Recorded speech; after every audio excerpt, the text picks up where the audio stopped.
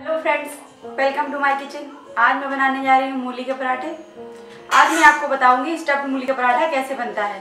मेरी रेसिपी को देखिए कि मैंने ये डिफरेंट तरीके से पराठा बनाया है। आपको मेरी रेसिपी पसंद आए तो प्लीज़ लाइक शेयर और सब्सक्राइब करना ना भूलें। थैंक यू मूली का पराठा बनाने के लिए हमें चाहिए मूली। मूली को मैंने ग्रेट कर लिया है। ग्रेट करके उसका अच्छे से पानी निचोड़ लिया है। ये मैंने वन के ली है। पराठे को तलने के लिए तेल एक बारीक कटी हुई प्याज, पाँच चम्मच मैंने बेसन लिया है, धनिया की पत्तियाँ कटी हुई, एक बारीक कटी हुई हरी मिर्च, half tablespoon mustard seed, नमक स्वाद अनुसार लेंगे, एक चम्मच गरम मसाला, एक चम्मच धनिया पाउडर, आधा चम्मच लाल मिर्च। और आटा मलने के लिए मैंने 125 ग्राम आटा लिया है और पानी। तो आइए रेसिपी को स्टार्ट करते हैं। सबसे पहले हम मूली की स्टफिंग बनाते हैं। कढ़ाई में दो चम्मच तेल डालिए। तेल को गर्म कीजिए। तेल गर्म हो गया है मस्टर्ड सीड डालेंगे।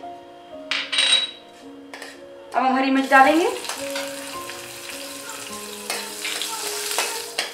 हरी मिर्च भून गई अब हम प्याज डालेंगे बारीक कटी हुई प्याज को हमें हल्का ब्राउन होने तक भूनना है। प्याज भून गई है। अब हम इसमें मूली डालेंगे।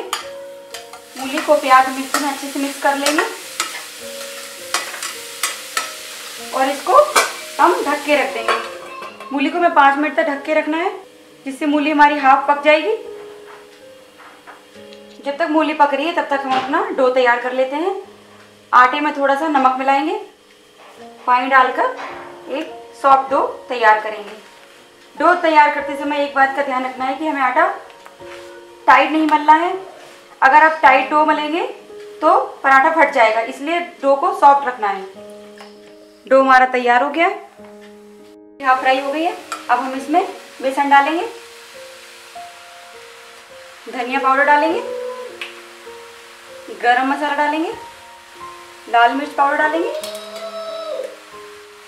एक चम्मच नमक डालेंगे, और सबको अच्छे से मिलाएँगे।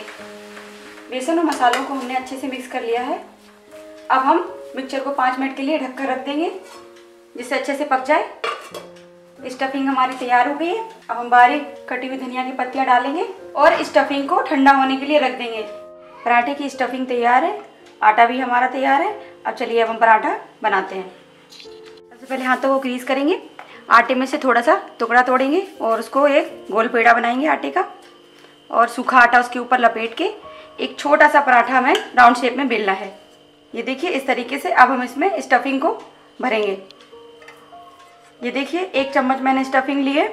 अब इसको इसमें इस तरीके से इसके अंदर रखेंगे और इसको चारों तरफ़ से रैप कर देंगे। तब लोई को सूखे आटे में अच्छे से लपेटेंगे और उसको राउंड शेप में बेलेंगे।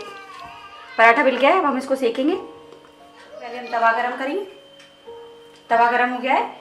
पराठा, जो हमने पराठा बेला था, उसको तवे पे डालेंगे। ये पराठे का कलर चेंज हो गया है, नीचे से सीख गया अभी हम इसको पलटेंगे। अब हम तेल लगाएँगे।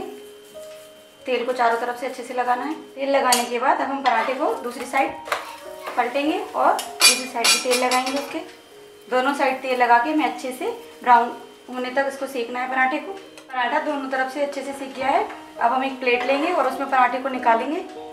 इसी तरीके से हम सारे पराठे बनाएँगे। स्टफ्ड मूली पराठा तैयार है। इसको आप दही के साथ या किसी रायते के साथ गरम गरम परोसिए। अगर आपको मेरी रेसिपी पसंद आए तो प्लीज़ लाइक, शेयर और सब्सक्राइब करना ना भूलें।